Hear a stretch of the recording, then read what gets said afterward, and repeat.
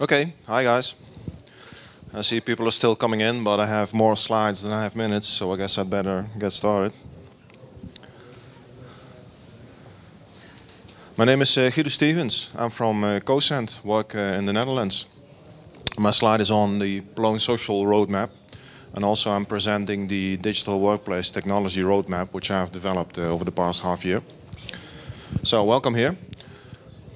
Hi guys. So just an outline of uh, what we'll do in this talk. Um, first, I'll go into the uh, why this is needed. You know, why did I think I should write Plone Social, and uh, what does Plone benefit from that? Uh, then we'll go into the what. So I'll give you a brief outline of the features, present you with a video demo.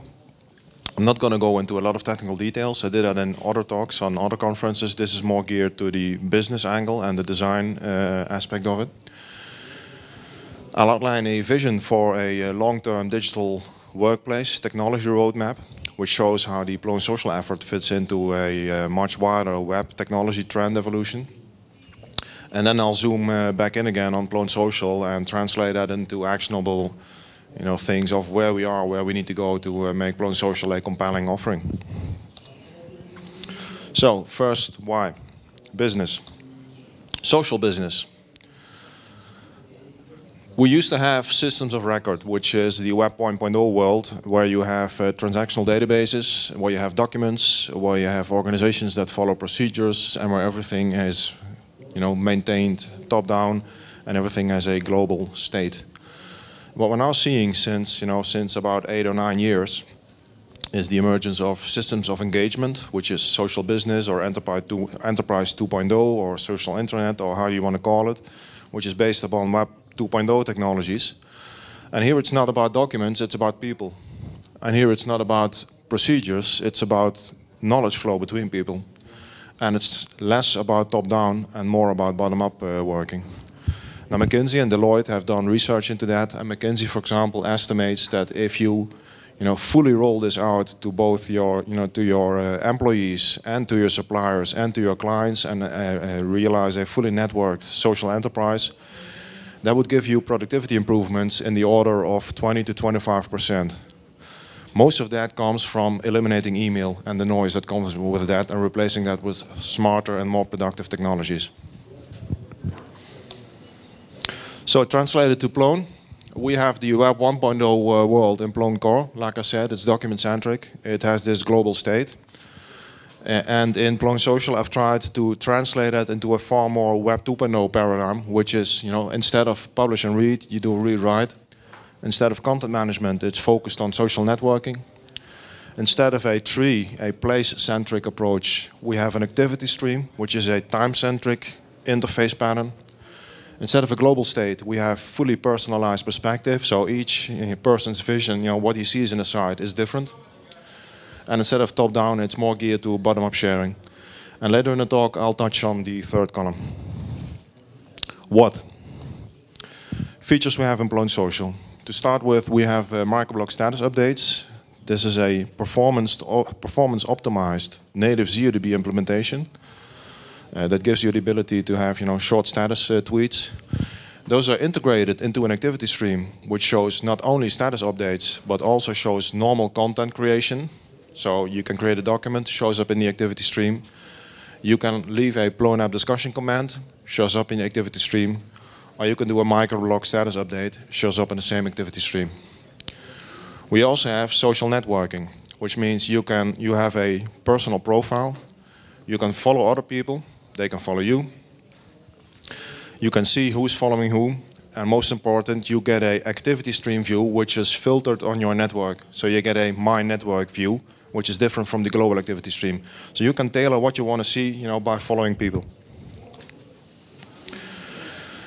New features which were done uh, this year, mostly on the uh, Sorrento sprint, is uh, we now have a collective local integration, thanks to uh, Thomas uh, Desvenain, which means we can have secure workspaces which have their own microblog implementation. They have their own activity stream. Um, activities, you know, so it shows in the in the workspace, it shows only the activities within that workspace, but the activities of this workspace also show up in the global stream, if you have permission to see the workspace. So that's all uh, quite transparent. I did the Bootstrap uh, theme, which uh, immediately, you know, it's a cheap effort and looks great immediately. Um, we've done a lot of uh, work on continuous integration testing uh, with a big, big thanks to Asko Soukka, also on the uh, Sorrento sprint. Wouldn't have been able to figure that out. So we have a lot of uh, unit tests, but we also have robot tests now. Uh, this runs on Travis, it runs on Sauce Labs. We have a full uh, scripted demo video, which I will show later in the talk. And finally, Timo yesterday told me that he's developed with some colleagues private messaging. So this is a, new uh, functionality which is in progress. Demo.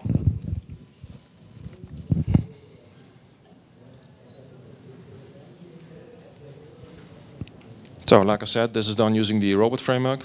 I hope you, oh, it's a bit of a washed out screen. So this is the anonymous view. It's, you know, you can see content uh, as anonymous, but you normally can't see any microblogging uh, going on there. So we're now logging in. We have a demo profile which sets up some fake users. I'm logging in as one of those uh, fake users called Claire.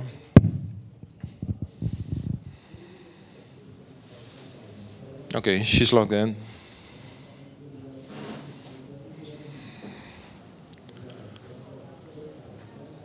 And now I go to the home page. So on the home page, you have you know the input field for the microblog status updates. You have the activity streams. This also shows, like I said, it shows content actions and uh, creations. Here you get a demo of you know what it looks like if you uh, leave a uh, status message, so microblog. Well, that's done, and it immediately shows up in the stream here.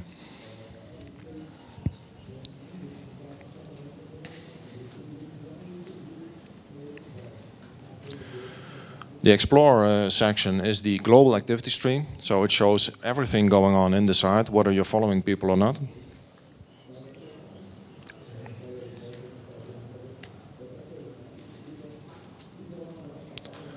The My Network section only shows uh, updates from people you're following. In this case, Claire isn't following anybody yet, so she sees only her own uh, updates and will return to the screen uh, later in the demo. And then the profile page you know, gives you a, a, an avatar of the user. It uh, shows you know who who, who she's following, uh, who's who's following her, all the activity of this user. Now you can check out you know the follower list there.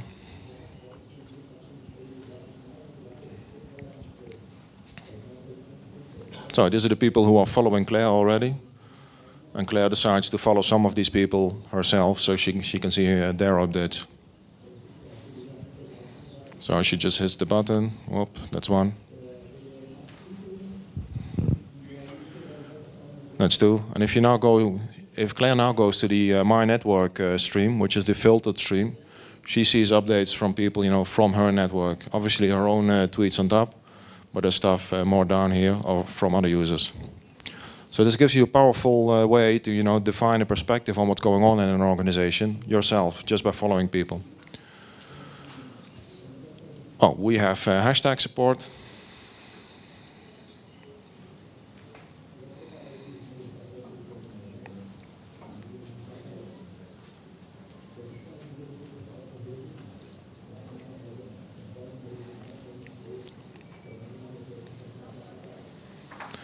And like I said, we have a secure workspace uh, support, which is a collective local workspace.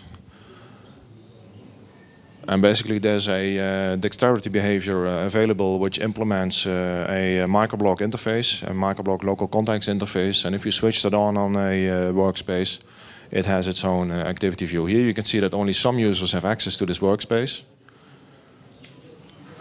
And if you're in a local microblog context, that shows up in the menu above. So you can uh, switch to the updates view, the activity stream view. And these are only you know, updates which were done within this workspace.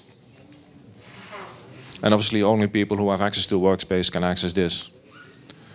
There's also, you know, the tag used, you know, for this workspace is girl space. You can uh, check that out globally. And we'll later see that people who don't have access to the workspace cannot access this tag as well. So we're now going to do that, log in as another user.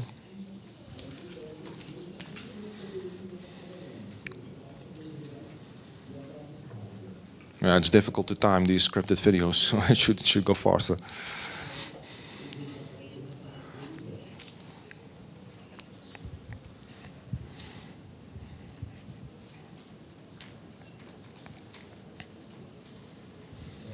So we're now logging in as uh, Kurt.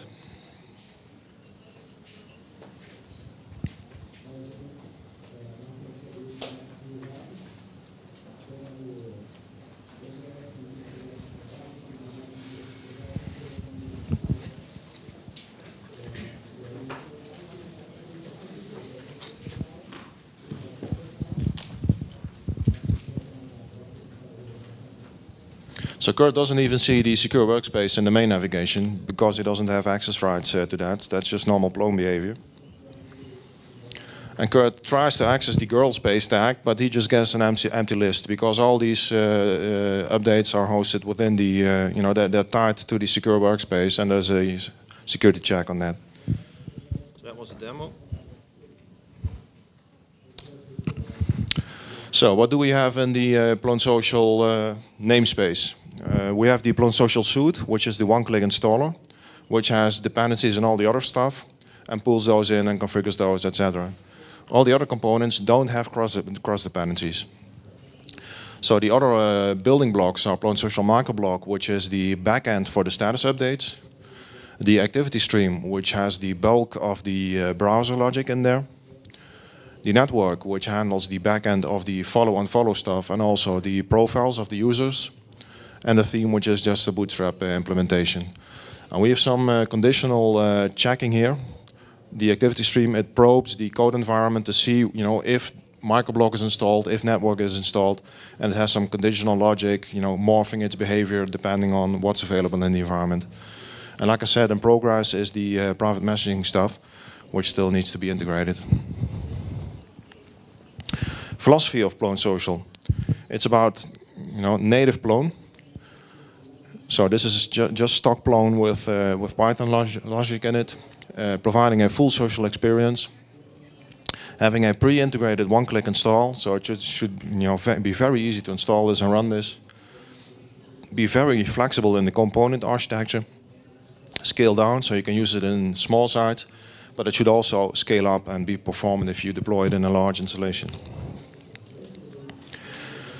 Vision, the vision behind you know this roadmap. I'm gonna go some deeper into that. It builds on a Web 1.0, Web 2.0, Web 3.0 uh, framework. For starters, I'm using the Enterprise 2.0 affordances uh, framework developed by McAfee. That's the guy who coined the term uh, Enterprise 2.0. And he says, you know, in any social system, you have six key affordances or, you know, things you can do with a system, which are separate from applications. It's just you know the stuff you can do there. It's signals, that's the S, which means RSS or microblogging or uh, email alerts even, that's signals. It's links, which we all take for granted in the web world, you know, being able to hyperlink to stuff. Authoring, which means you can change documents, not just upload them, but actually edit them. Tagging, and tagging in the social world is not quite tagging in Plone, because in Plone you just have a global subject uh, space, whereas if you go to Delicious and you, you bookmark, you know, you tag a bookmark, those are your tags. So that, there's a bit of a challenge in, you know, reconciling those two concepts. Extensions, which is a bit of a cryptical name for what is basically recommender systems. So if you go on LinkedIn, you know, it will suggest to you, do you know these users? Twitter does the same. If you buy a book on Amazon, it says, okay, given your profile, given what you bought, you will be interested probably in these books as well. So that's an important functionality. And finally, search is very important. So these are laid out uh, graphically like this. This is just the six affordances I just uh, talked about. Knowledge management is another uh, thing. There's, there's a big field uh, there. I've distilled this into uh, three aspects here. Processes, which is about you know operational effectiveness, about productivity.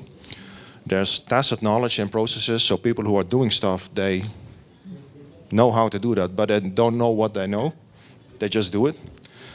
There's a people aspect where people can share expertise, but also people articulate their expertise by, you know, what we're doing here, you know, talking to each other about technology, talking what you do. It helps you to articulate what you're doing and share that.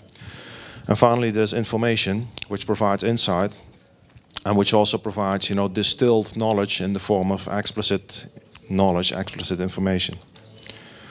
So we add that uh, to the framework like this. We have processes, people, information. And now we can use this to map the application landscape. So i have grouped these uh, by uh, affordance. So for authoring in Plone, for example, we have wikis, which we just call pages, but the rest of the world calls those wikis. You know, you have an editable page. We have blogs, which are important.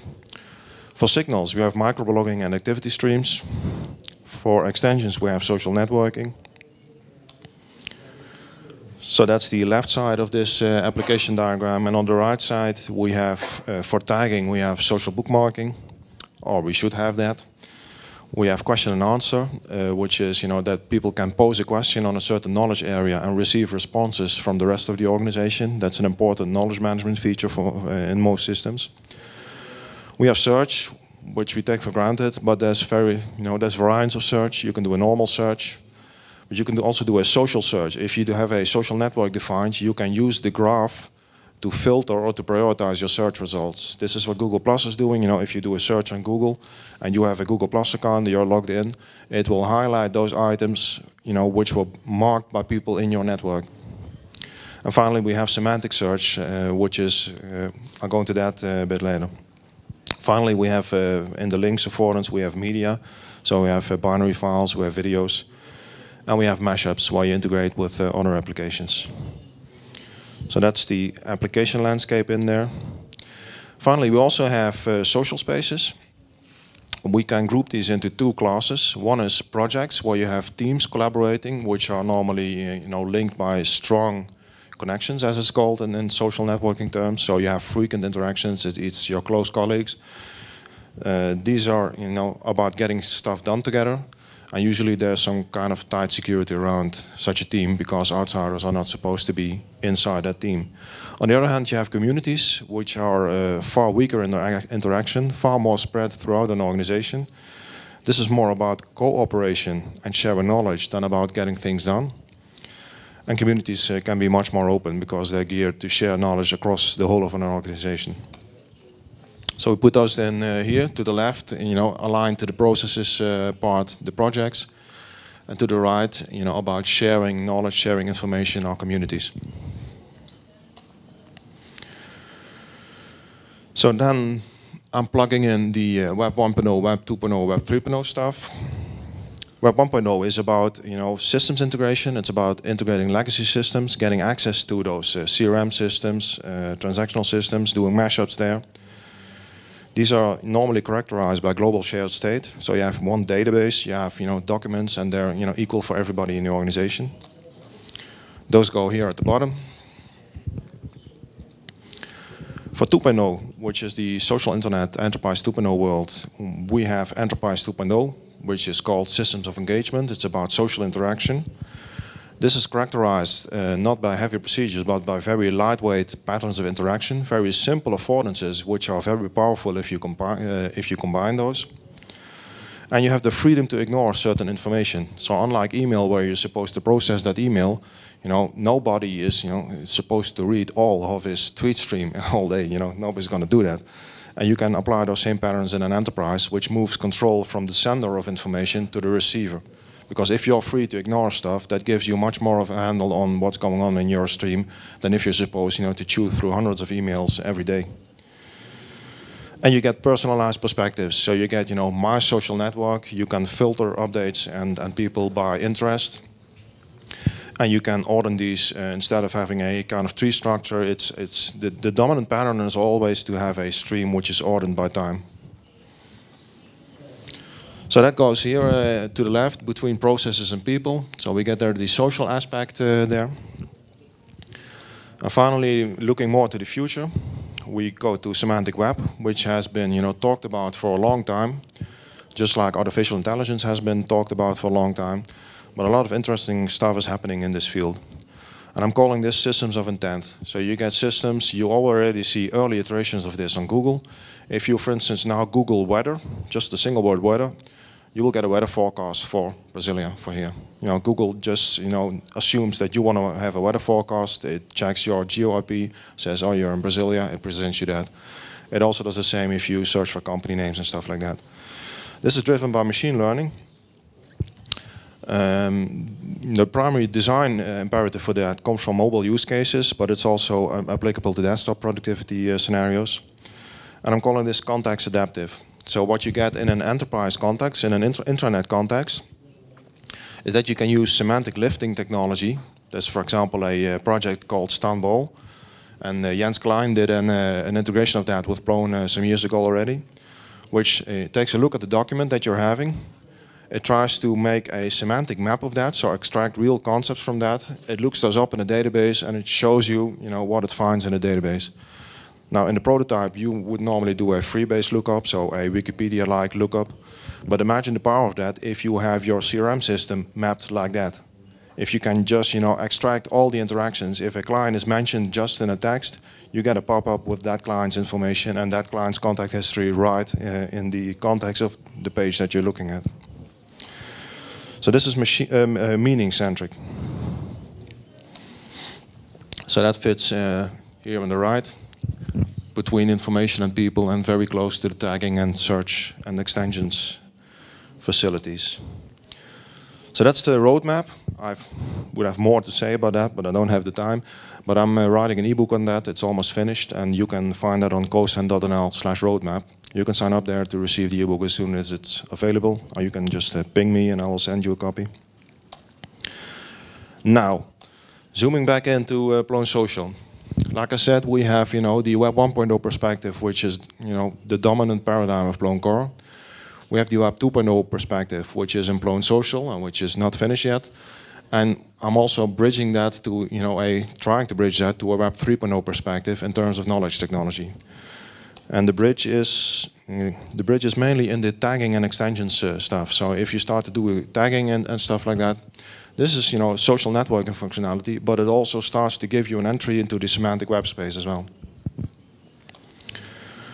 So what have we, you know, done in Plone Social? Like I said, we have a one-click installer, microblogging, activity stream, personal profiles, social networking, social workspaces, a bootstrap team. Stuff that we want to do.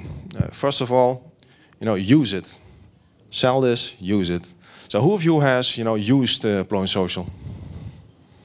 Oh, cool. And who, who has, you know, a client with a production installation uh, for Plone Social?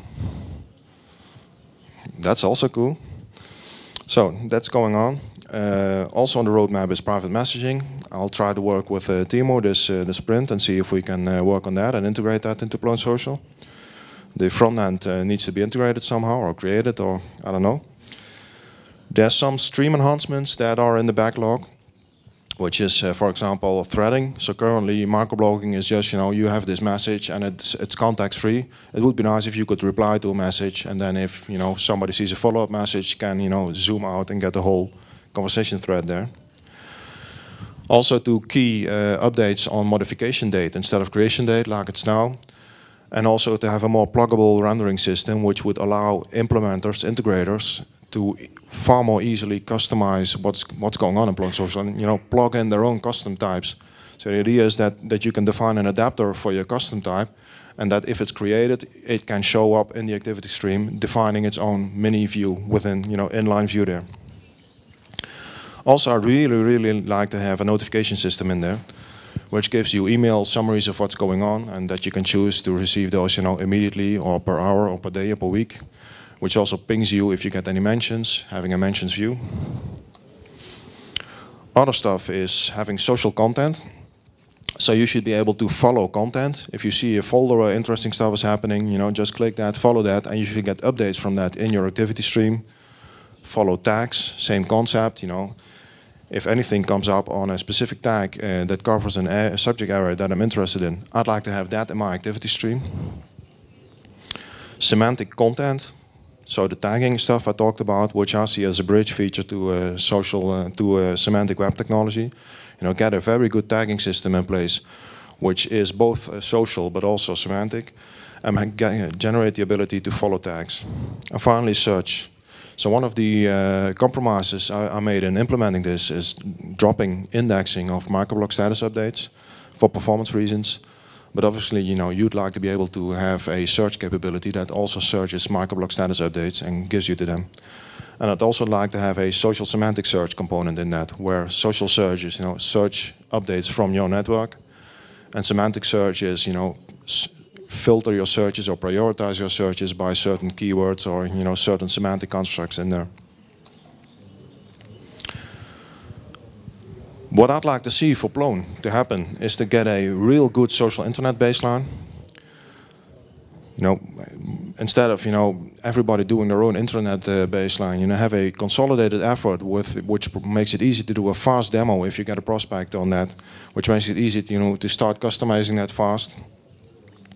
It should uh, minimize dependencies, so uh, no archetypes in there, no XMPP, AMQP, ZMQP uh, messages, uh, messaging stuff in there. Avoid external DBs if possible. Currently we don't have those in there. I'd like to keep it that way. So you just have a stock Plone uh, which works. And if you want to, you know, you can always plug in these systems later if you have well-defined interfaces. But if you already require them at the start, that's a much heavier hurdle to take. So I'd rather have a minimalistic implementation in Plone which you can scale up than something big which you can't scale down. And in terms of features for such a social internet baseline, I think there should be a personal social dashboard which has streams, which has a microblog, where you have a social network with uh, user profiles, uh, where you have project spaces, community spaces, and where you have tasks and notifications. I know that most of this is already you know, in the stack. So I checked out you know, what's going on in the uh, internet world already in Plone. This is a screenshot from the intranett.no uh, stack. They have some really cool features in there, but they depend on XMPP. There's the uh, Teamrealm uh, Collab stuff. They also do some very nifty stuff. But this is completely done in archetypes. This is uh, something uh, another company did.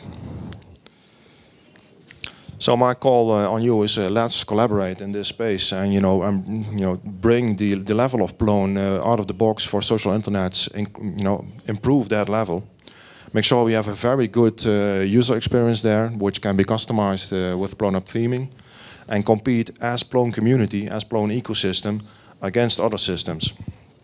So that re reduces, you know, development costs. It reduces uh, sales costs in terms of getting a demo done.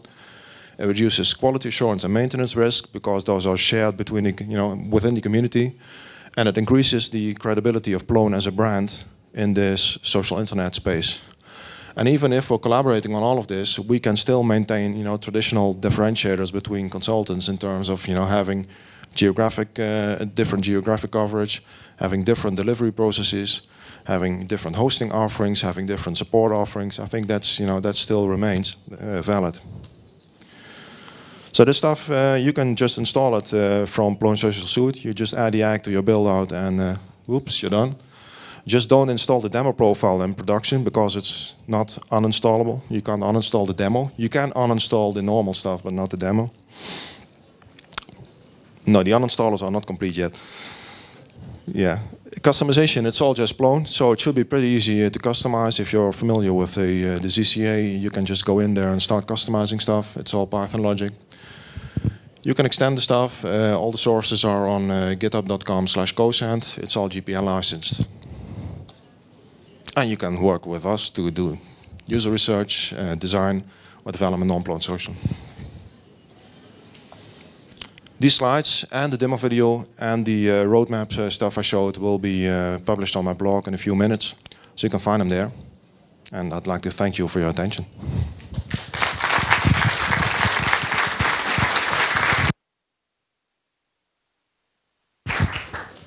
Yes, Steve. I was wondering, to, to, you said you have a bootstrap theme. To what extent is it attached to it? I mean, is that a convenience, or could you, I mean, can you, or could you pitch it out and start with something new, or do you have to add it? No, the idea is that the, like I said before, the uh, suite is the integration component. All the other components do not have any cross dependencies. So you can just uh, take the microblog, take the activity stream, or even take the suit and not install the theme. That's that's all just fine.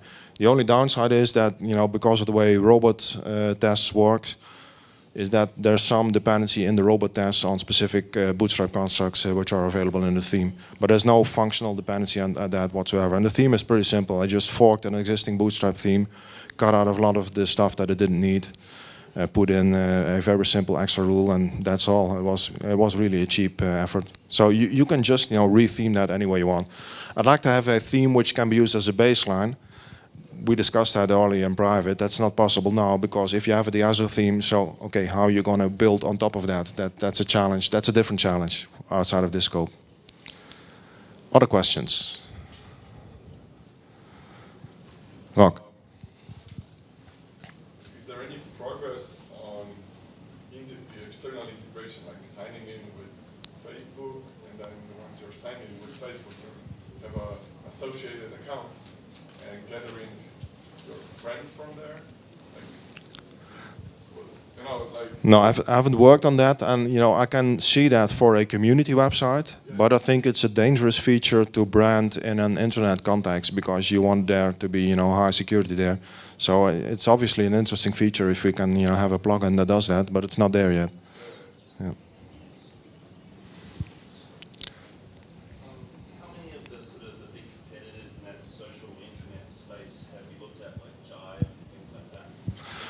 So how, how did I check out the competition? Well, I just uh, collected another uh, flyer from the uh, from the guys here in the uh, in the booth, who have their own uh, social internet on top of Python.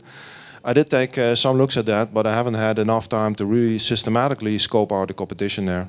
So I've been playing around with the idea of, you know, can you productize an offering like that? I did some market research on that. Conclusion was that it's far better to aim for, you know, a consultancy approach in terms of business model. So I'm just, you know, working from, okay, this is an open source stack. Most of the stuff out there is not open source. It's a web service. So already that gives you an entrance uh, point. But it's obvious that, you know, to, to take this further, it would be really good to, to uh, compare at least the top contenders like Jive. Uh, Podio is an important contender. Check out what the Drupal guys are doing. You know, there's a lot of stuff uh, going on there from which we can adopt best practices and see, you know, which patterns are obvious to use.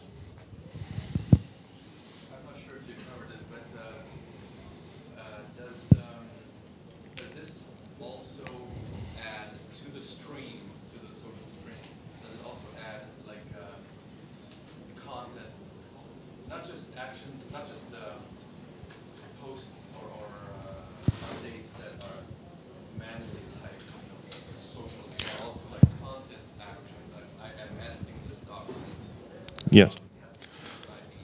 So the question is, does the activity stream show not only Plone social updates itself, but also normal Plone content updates? The answer is yes, but uh, it's yes. So that, that's the vision, and it also works now, but it currently is anchored on uh, content creation. And there is some bugs or you know intricacies in the indexing uh, where you know it's difficult to do that on updates. But I'd really like to have that on updates. So we've been talking, you know, been talking to several guys to have some kind of history uh, there where you can chain this on a you know content editing. So actually any edit any action you do on the site should show up in the activity stream. That's part of the vision. Yeah. So we're halfway there in terms of content creation, but not yet of content updates. That's it. Thank you guys. Oh,